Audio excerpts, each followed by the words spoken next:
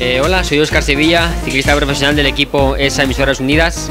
Y bueno, estamos aquí en Guatemala, eh, mi primera vez en Guatemala, eh, muy ilusionado de estar aquí, muy agradecido con el recibimiento. Llevo prácticamente pocas horas en, en Guatemala, pero muy feliz de, de, la acogida, de conocer este hermoso país, su hermosa gente.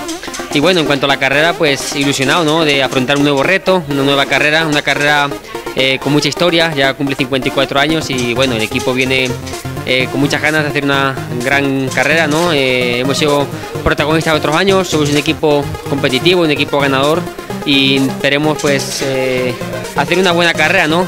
conozco poco de la topografía, pero me han dicho pues que es una carrera dura, con mucha montaña, con mucho cambio de clima Igualmente los rivales van a ser muchos, ¿no? Creo que este año la Vuelta a Guatemala tiene eh, una participación muy buena, con corredores de todo el mundo y muy buenos y va a ser una carrera difícil.